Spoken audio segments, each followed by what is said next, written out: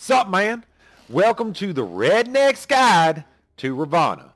Now, Ravana is one of the most versatile and one of the most fun gods in the game. He can be built for auto attack damage, ability damage, or tanking. He can solo, he can jungle, he can support, he can do it all if you build him the right way. Now, I build Ravana as an ability damage god, focusing on maximum cooldown reduction and mana with a smidge of physical protection to defend against hunters and other auto attackers that can bully you in the lane. But no matter how you build him, if you play him right, Ravana can be a mean bully as well and can be one of the best gank supports there is. Now let's take a look at Ravana's lore. So, Ravana understands that power does not come without sacrifice. That's what I'm talking about. He's a man who knows that you got to work for it. He's not just going to wait for power to be handed to him. He's going to work for it, and he's he's willing to put in the time and the effort and apparently his own head to get ahead. you know what I mean? You know. Okay. Well, point is, he was looking for power. So he sacrificed his own head to Shiva so that he could get a boon from her. Now, she didn't pay attention to him at first, like, man, this guy's crazy, just cutting off his own head. Man, I don't want none of that mess. But he's like, no, I'm going to prove it to you again. He's going to cut off his head again. And again, he cuts off his head 10 times. And finally, by the time he does that, it's like she was like, okay, man, you need to, you need to slow your roll there, buddy. I hear you. You think you're all that? Well, let's give you a boon what you want. And Ravana says, I want to be protected against gods and demons. And so she was like, all right, man, you got it. So now he's protected against gods and demons. So he uses this boon to amass a massive army. So he takes over all of the land. Now here's the thing. Not everybody liked this guy and he was he was immune to gods and demons. And if he's immune to gods, what's he doing in Smite? How are the other gods able to hurt him? Well, the answer to that question is because it'd just be totally OP otherwise. Just deal with it. But the point is, another uh, powerful warrior came up to stop him, who was a human, an avatar of Vishnu, and his name was Rama. So Rama and Ravana are total enemies and are going to be battling to the death in the battlegrounds of Smite. All right, now that we have an idea of his lore, let's take a look at his abilities. So let's take a look at his passive. So his passive is successful basic attacks and abilities against an enemy add to Ravana's combo chain. Now, what that means is every time you land a basic attack or every time you hit an enemy with any of your abilities, it's going to give you stacks on your on your passive every eight stacks you get, you're going to get a shield worth 5% of your maximum health. And that can stack up to three times. So that means after 24 enemy hits, either with auto attacks or abilities, you're going to get a shield worth 15% of your maximum health. Now, this isn't the best passive, but if you're in if you're in the solo lane especially, or if you're jungling, or if you're just sitting in lane just, you know, just punching on people, this is going to give you a pretty decent health boost. I mean, it's 15% of your maximum health. You might as well utilize it. You'd be surprised how much of a difference it can make. So now we have an idea of what his passive does. Let's take a look at his first ability which is Prana Onslaught. So Prana Onslaught, what it's going to do, in a, in a short cone in front of you, it's going to throw out some big damage. Look at this. 80 to 300 plus 80% of your physical power. That is some nice damage. That is some good scaling on some pretty dang decent damage. And look at that cooldown, it's only 8 seconds. Look at that cost, only 30 to 60. Man, it is cheap. It's got a low cooldown. It does a ton of damage, and it even slows the targets by 25% for 2.5 seconds. This is just a great ability. It's awesome. Low cost, low cooldown, high damage, gotta slow. I mean, it's just great. The only problem with it is it is the range is pretty short you do have to be very close for it to land. So, you know, you really only use it if you're basically within melee range or really close to melee range. But it's awesome. You're going to use Prana Onslaught pretty much all the time. Just bust it whenever. you're trying to clear a lane, you know, you're just trying to do some damage to the jungle camp, trying to uh, harass an enemy guy, trying to beat him down. Just use this constantly. It costs basically nothing. You know, I mean, don't just abuse it. Don't use it for no reason. I mean, it will deplete your man eventually, but it's got a low cost, got a low cooldown. You can afford to just kind of just spam this thing practically. So now we have an idea of that. Let's take the second ability, which is overhead kick. Now, overhead kick, here is something you need to know. You've got to master this ability. This ability has a long-ish cooldown from 20 down to 12 seconds, and its cost isn't super cheap. But here's what it does.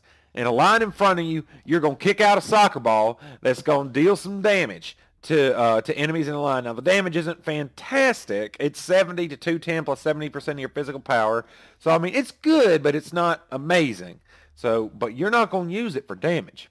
What it's going to do is for 0.75 seconds, when you activate this ability, you are immune to CCs and damage not only are you immune to getting in, any hit, so Ra throws his beam, you know, Thanatos comes in trying to execute you, you can use this just be like, nope, don't do nothing. Don't do no damage, don't do nothing.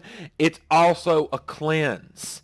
It's going it's going to cleanse you of anything and it's not a dash. So you can use it even when crippled. You can use it to cleanse all your CCs and prevent CCs from being dealt to you. So think of this. Ares comes up to you, right? He's going to throw his ult on you, and you're going to get chained. You're like, oh, man, I'm chained by Ares. I'm about to get pulled in, man. Right before it pulls you, you going to overhead kick. That chain will not pull you, and it will deal no damage. That is just amazing. You do not need Sanctuary, and you do not need Purification because of overhead kick. It gives you more room for your relics, and it also gives you the an incredible ability to harass and sustain in the lane. You can be prepared to just kind of go up and just punch somebody in the face and just be like, all right, I'm just going to go an overhead kick and get the hell out of here. You know, it's just awesome. It's such a good ability, but you've got to master it. This ability can make or break Ravana if you, if used correctly or incorrectly, and it will save your ass over and over again if you know how to use it. So practice this ability a lot. Learn when to learn the timing for it. Learn when to use it. Now his third ability is Ten Hand Shadow Fist. Now, Ten Hand Shadow Fist is a longish line with a range of 45, and what it's going to be, it's and it's kind of wide. It's going to deal damage 120 to 260 plus 55% of your physical power, and it's going to heal you for up to three minions and one god that it passes through. It's going to pass through minions but it will not pass through gods. When it hits a god, it's going to root them for 1.25 seconds. It's also going to heal you for 15 to 75 for up to three minions and up to one god hit, so you can get up to four ticks of that heal if you land it right. So what you're going to do is you're going to use this in lane to clear a wave, to get you some heal back. So this is going to help you sustain. Now, the cost isn't super cheap. It's 55 to 75, and the cooldown is pretty long at 18 seconds. So you can't just spam this ability. You got to use it appropriately. Use it sparingly when you got to heal, you need to clear a wave, or you really got to root this god. But don't just toss it out there for no reason. It's also not terribly difficult to aim, so you don't have to worry too much about that. But, you know, make sure you land it because that long cooldown means if you miss, then you've just basically blown your initiate. So practice with it and get good at landing it. Now, his ultimate is pretty cool. It's Mystic Rush. So you can think of it kind of like Tyr's ultimate, in which you're going to leap out. Now, the range on that leap isn't quite as long as Tyr's, but what it's going to do is you're going to leap out, and of course, since it's a leap, you can go over towers, you can go over walls, you can go over people, you can go over whatever, and you and you can just leap out and you know get into the thick of things. So you can use it both to engage and to escape. Now, if you use it to engage, the enemies that you hit in a radius of 15 around you, uh, the centermost god to you that you hit is going to deal full damage to you, but all other guys are going to deal reduced damage to you for three to five seconds. Now, what that means is if you leap in on somebody and you only hit and you leap the centermost god you leap on, all other gods are going to deal significantly reduced damage to you. So you can use this to engage and really deal hurt on somebody without having to worry too much about the other team bursting in on you. Now, that damage reduction won't just make you invincible. So you can't just go willy-nilly. Like, you can't just jump in and just expect, you know, the entire team not to be able to kill you. They can still totally kill you. But it will give you some really nice mitigation that's going to allow you to stick to that target and really put a hurt on them before you got to get the hell out of there. All right. Now that we've taken a look at his abilities, let's take a look at how I build Ravana. All right, so this is how I'm going to build Ravana. You can build him really just a tremendous amount of different ways. You can build him, you can use transcend, you can build transcendence on him. I personally don't. I think there are better options, but you can do an early transcendence build with him. It will work. Um, but that's not what I do. I build him to be a little bit more focused on uh, just straight ability damage. I'm going to use my I'm going to use uh, breastplate of valor to get me the mana I need, and I'm also going to go for massive cooldown reduction. Especially so, if you look at in the early game, we're going to be going for big ability damage. We're going to focus on auto attacks in the later game. Once we're able to really get in there and you know really stick to somebody, then we're going to focus on our auto attacks. But in the early game, we're going to focus on abilities to maximize our wave clear and maximize our burst. So the first thing we're going to get is Warrior Tabi. Now, Shouldn't have to say much at this point. Lots of power, lots of movement speed. You need it. Just get it. The second item we're going to get is one of these two, Jotun's Wrath or Breastplate of Valor. And then after we get one, after we get the one, we're going to get the next one next. So one of these is second, the other of these is third.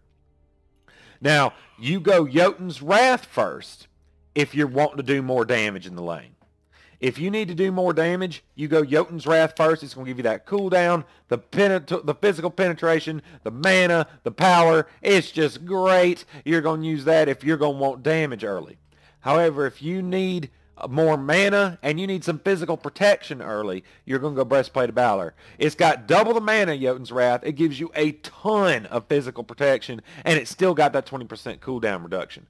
So Breastplate of Valor is going to give you more sustain, and Jotun's Wrath is going to give you more damage. So choose which one you need in the early game. I usually go Breastplate of Valor in the early game. I usually go that second instead of third because in the early game what you really need, you need to stay in the lane as long as you can to get the gold and to get the experience.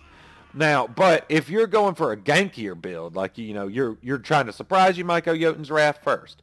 But either way, Get either Jotun's Wrath or Breastplate of Valor second, and then get the other one third. The reason for that is we want that 40% cooldown reduction as early as possible. So that's what we're going to do. Now, the fourth item we're going to get is Frostbound Hammer. Now, Frostbound Hammer is just awesome. It's got some physical power. It's got a lot of health. And enemies hit by your basic attacks have their movement speed reduced by 30% and their attack speed reduced by 15% for 1.25 seconds. That's just great. You run up, you start auto attacking somebody, they're going to get slowed, their attack speed's going to go down. It's going to allow you to stick to somebody like glue, and it's going to have them be uh, do a little less damage to you if they're an auto attacker. So Frostbound Hammer is just awesome. It's going to slow them down. It's going to allow you to stick to them. It's going to allow you to maximize your damage potential. And the more auto attacks you land, the more of your shield stacks you build up. So Frostbound Hammer is the first item we're going to get to kind of build into our auto attacks. Now the second item we're going to get is a Kybal. Now Kybal is just a great, great item. Not just for Ravana, but for a lot of different... Any guy that uses auto attacks can make use of a Kybal. A Kybal is 30% attack speed and 10% physical penetration, or plus 10, excuse me, plus 10 physical penetration. Every successful base attack you land increases, increases your physical power by 10 and reduces the target's physical power by 10 for 3 seconds. It stacks up to 3 times. So this is just awesome. You're going up against another physical god. You just landing basic attacks is reducing their damage and increasing yours. That's just awesome. And this item is cheap as hell. 1700 bucks. I mean, that ain't nothing. It's going to give you a lot of attack speed, some penetration, and it's going to uh, give you more power. Now, obviously, you can basically consider it. You can see this build has 145 power. You can basically consider that 175 because getting the three stacks is really easy. You punch a minion three times. So you can basically also think of this as giving you 30 more power once you land a few attacks. Now the last item we're going to get is Qin's Sais. Now, the reason we're going to go Qin's Sais is going to give us 15% more attack speed, which is going to get our attack speed to a respectable number. It's going to give us a lot of power at 40 physical power. And on basic attack hits, you deal physical damage equal to 4% of the target's maximum health. This only affects gods. Now, we're going to get Qin's Sais because that's going to allow you to bully tanks. By the time you get to the late game, without Qin's Sais, it's going to be tough to deal damage to really high health, high protection targets. Now, if they don't have any, you can go Executioner instead. If they don't really have a tank, you can go Executioner instead of Qin's Sais. But if they have a tank, you're going to want to go Qin's Sais. It's going to give you more power, and it's going to allow you to really put a hurt on tankier targets because you're just going to deal a percentage of their maximum health. So, the relics we're going to choose. Remember, you don't need Sanctuary. The reason I have it up here is just to show you what it does.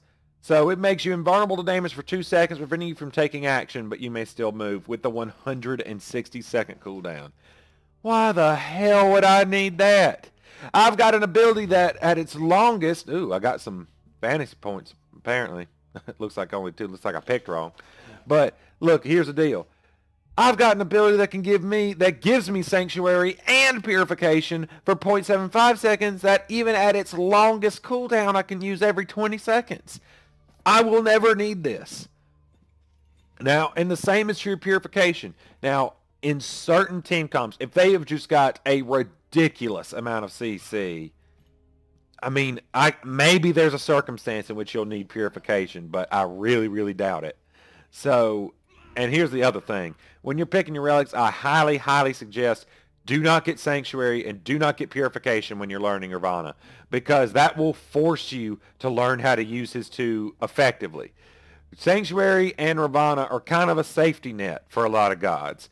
I'm going to tell you, don't run with that safety net when you're learning this god because that will force you to get good at his two. That will force you to learn when to use his two effectively, and using that two effectively is key to playing this god successfully in any game mode. So don't use those safety nets. Force yourself to get good. Now, what I like to do is I like to go curse first. It's just great. It's going to slow the enemies. It's going to reduce their healing. It's just awesome. It's going to allow you to really leap in there, throw out a curse, and it's going to really deal some. It's going to really, you know, mess up the enemy team and their team comp. So the second item again is sometimes you might go meditation. It's going to give you a little bit more sustain in the late game. It's going to let you boost your allies, keep your allies in the team fight uh, in the later games. So meditation can be useful but also teleport. Ravana has the ability to really kind of leap in and leap out of any situation. He is ready for anything at any time. So you could, so a, a, teammate can throw down a ward, and you can just teleport to it, and you're just good to go. You don't need any prep time. You can engage from any. You can engage from almost any distance. You can disengage from any distance. I mean, you know, so you can really teleport in wherever, and you are just good to go. So you might go teleport, especially if you've got a teammate. If you've got teammates that are aware of what you're doing and can throw down wards for you to teleport to.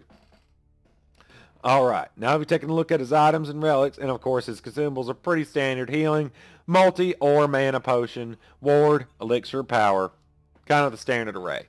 Now that we've taken a look at the items, let's take a look at how we're going to level Ravana.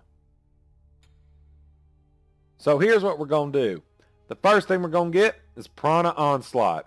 The reason for that is Prana Onslaught scale. It has the best damage scaling, and it also uh, has the lowest cooldown. So you're going to want to level it first so you can really lay out a hurt when you need to.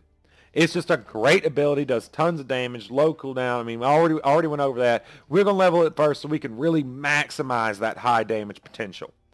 The second one you're going, and, and we're going to pick it first, and we're going to level it first.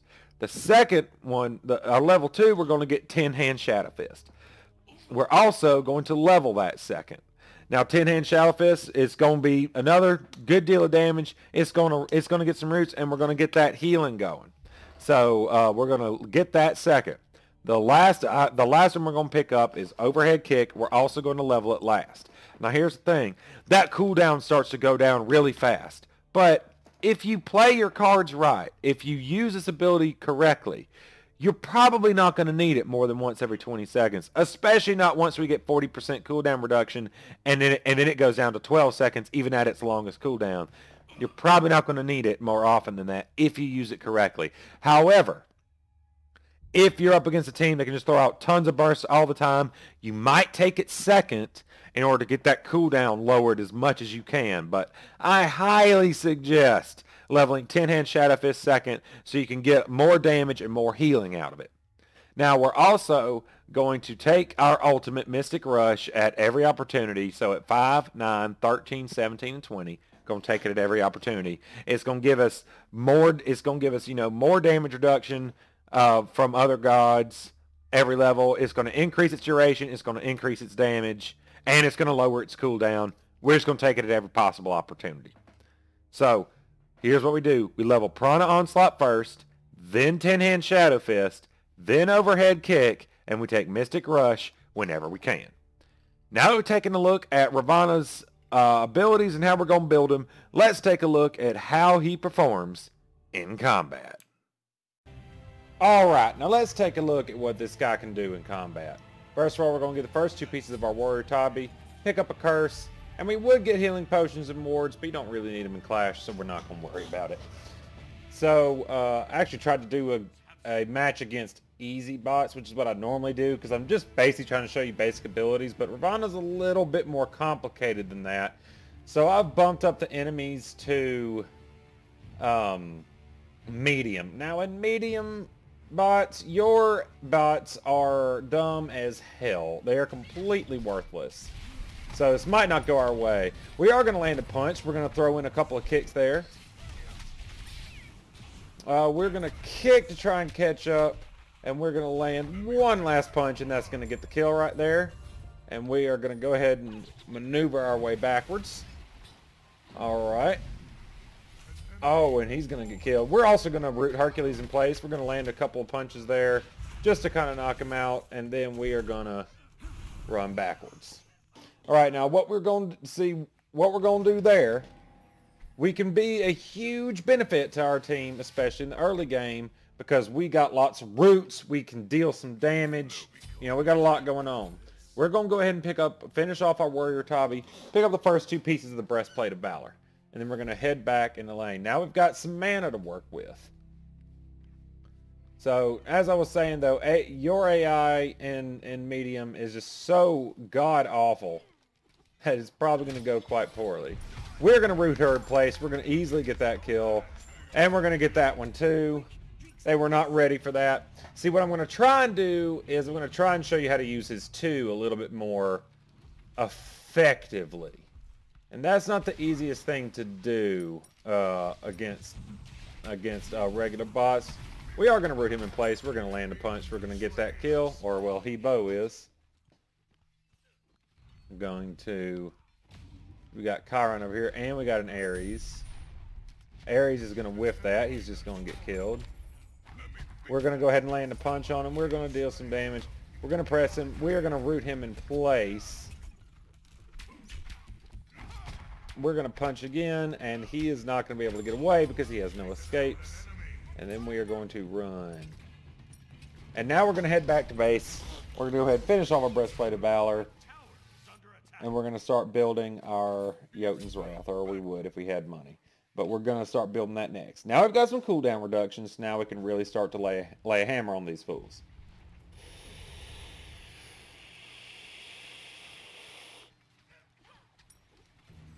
Alright, so let's see. We got a hurt. We're going to punch him in the face real quick.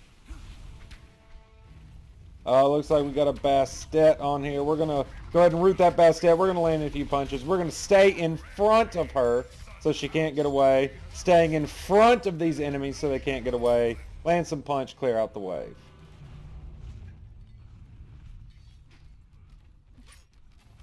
we're going to root you in place. We're going to land some punches. Come on, use your ultimate, man. Okay, watch this. There we go. That's how you do that, right there. You see I use that too, so that I could basically prevent him, prevent his ultimate from doing anything to me at all. So that is how you're going to use that. Watch for stuff like that, like stuff that's very, very easy to time, like Ares' ult, and you're going to use your 2 to get the hell out of that stuff. So that is an example of how to use your 2 to get out of those obvious CCs. And now that is going to be critical to learning how to play Ravana, is learning how to get out of those CCs like that. And that was a good example. So we've got several dudes here. We're going to go ahead and land a punch. We're going to go backwards because I'm not liking that. We're going to again punch through there a little bit. Now we're going to go ahead and punch into them. Uh, they, you know what, we're going to go ahead and leap on him right there. But we're not going to be able to follow it up. We, however, are going to kill her real quick. Okay, we're going to root him because I'm tired of his flames. Alright, let's see here. We're probably going to have to go back. We cannot step to him any longer. And we're going to go ahead and get a little bit more of our Jotun's Wrath going on here. Heading back into base. a tower killed the dude.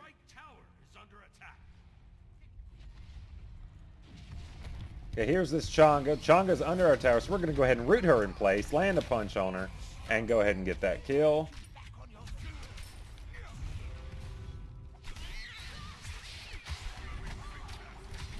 Okay, now, uh, she used her ult just to get the hell out of that. We're going to go ahead and root her in place. We're going to land a punch. We're going to get that kill too. We're going to try and stay in front of him as much as we can. We're going to land that kick just to make sure that we get that kill. Alright, now I have enough for our Jotun's Wrath. So we're going to go ahead and head back.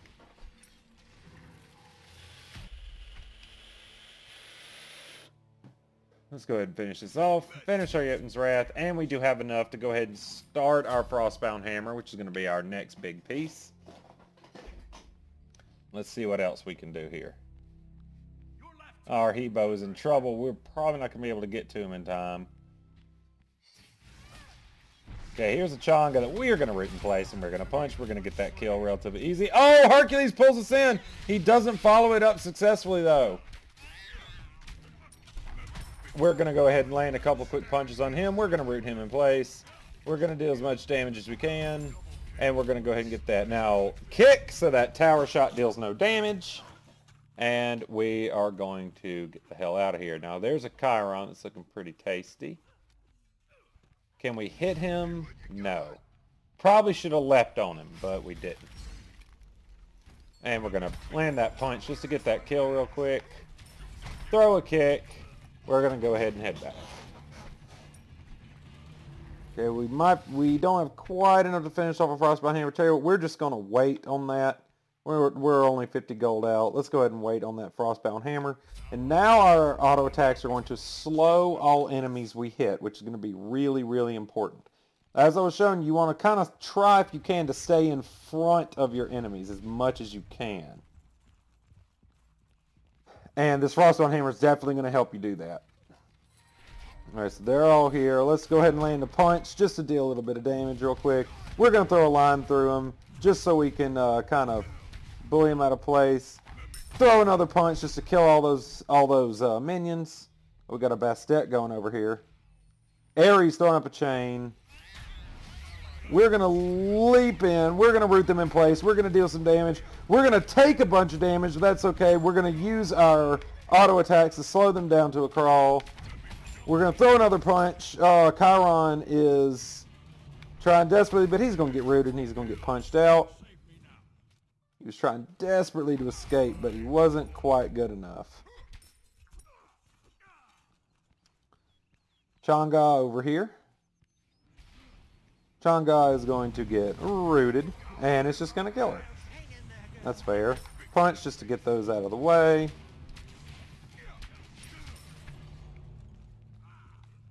Alright, now we're going to go ahead and take this camp. So this is how you're going to take camps. First thing you're going to do, Throw in a punch, you get all three. Throw in your root so you can heal a little bit. And then you're going to finish it off just like that.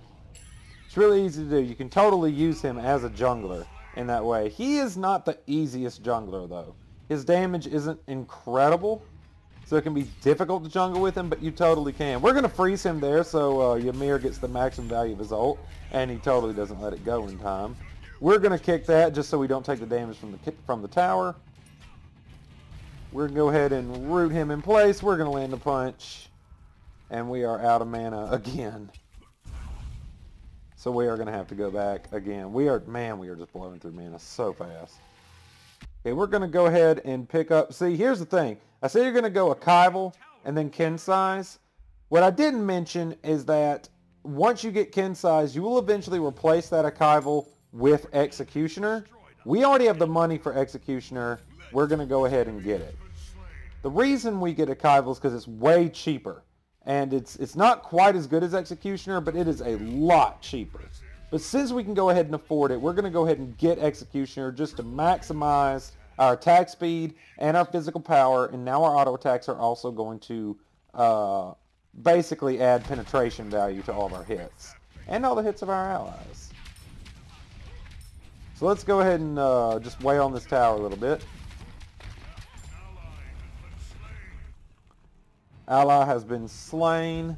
All right, here, so check this. Very similar to how we do Tyr.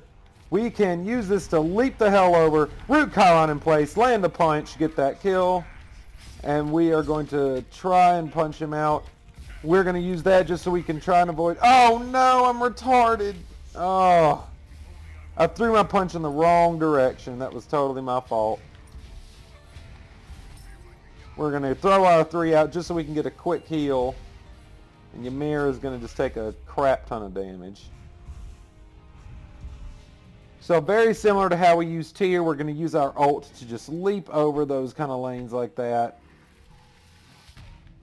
Uh, I thought I might get out in time. You know what? I'm just going to punch you and I'm going to slap you in the face. And she should have thrown her ult right there, but she didn't. And we are going to leap out of that. We're just going to leap away from her because she can, she could totally destroy us if she wanted to. So we're going to use our ult again just to get the hell out of there. And we're going to go ahead and uh, get the first two pieces of our Qin's Sais. And we're also going to go ahead and pick up our second relic, which is going to be, which is going to be meditation, because we are juicing on mana just way, way too fast. So we're gonna we're not gonna root that Bastet, but we are gonna kick to get ahead. We're gonna land a punch. And we're going to just punch the living crap out of this Hercules because he can't really do anything to stop us. We're going to land that. We're going to root this Chang'e in place. Uh, she would normally be using her two, but uh, it looks like she just used it, so she wasn't able to get it. Now we're going to move over here. We're going to use our med. Oh, crap. Wrong button. Well, now we're going to use our meditation. Uh, we have lost our Phoenix because our bots are just that damn stupid. We're going to root this Chiron in place. We're going to deal some massive damage. He's not going to be able to deal enough damage in time. Land a punch. Finish those guys off. We're also going to slow him down to a crawl with our auto attacks. We're going to land that. We're going to throw a line through here to heal up. Throw another punch. I apologize if my uh, dialogue is pretty rapid fire at this point. But uh, it's just kind of how it is. Like this guy this is a very fast-paced god. So we are going to try and push up this lane as much as we can. I believe we're probably going to be able to do it. I bet we can take this with two of them down. Throw a line through, land a punch, do as much damage as we can. Throw another punch. And we are going to try and beat on this Phoenix as much as we can. And jump so he doesn't pull and move back. Get the tower off of us. We're going to try and get this tower. We might die in the process. We're going to root him in place. We're going to land a punch. And we're going to slow him to a crawl because he can't do anything about it. We're going to go back to base because our Phoenix is uh, about to be under assault.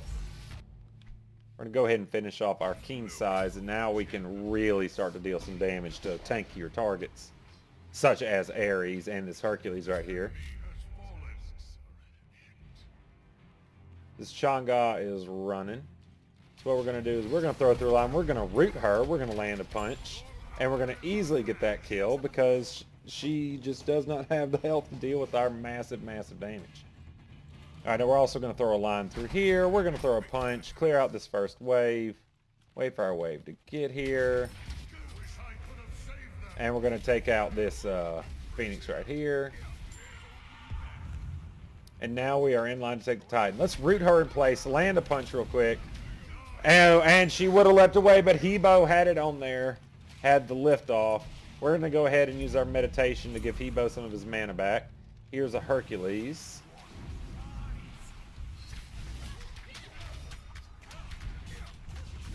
Root him in place. We're going to leap out because we do not want the, the uh, Titan to target us. We do not have the health for that. We're going to head back in. We're going to deal some damage. We're going to easily get that kill. And we're going to finish off that Titan just like that. So that is how we are going to play Ravana right there. You notice it's pretty, pretty fast paced. Uh, you're going to use your two to get out, to get in and out of towers, to avoid those CCs and stuns, and to really lay as much of a smackdown as you can, as fast as you can, using your one to deal damage, using your three to root, and then following up again with your one. Or just lead with a three and then follow up with your one. Use your auto attacks to slow your enemies, and once you get Qin's Sais, you're going to be chewing through even the tankiest targets with relative ease, especially since they're going to be so slowed from Frostbound Hammer. So that is how we are going to play Ravana, just like that. Uh, if you have any questions or comments, feel free to leave them in the comment section below. And if you have a god that you'd like me to, to do a redneck god for, be sure and let me know. All right, y'all have a good one now. You here?